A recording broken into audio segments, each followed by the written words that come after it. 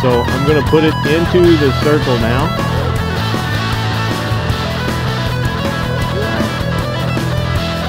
Now I'm gonna flip safe off in the spin, right?